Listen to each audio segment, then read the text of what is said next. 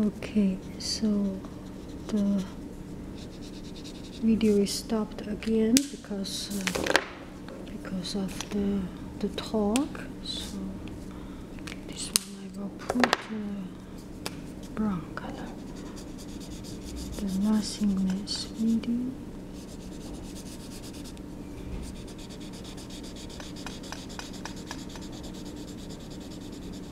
Kind of dried.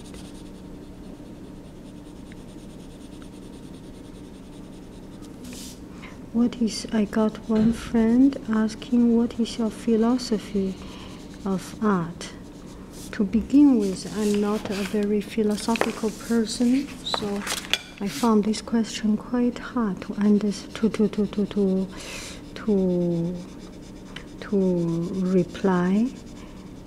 And uh,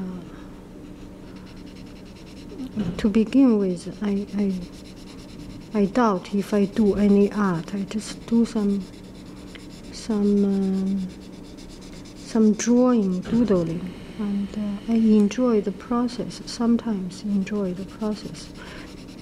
Uh, so what I think is uh, it's just a piece of paper. And I used to talk in my class. There is no mistake in art. So so I don't know whether it can be called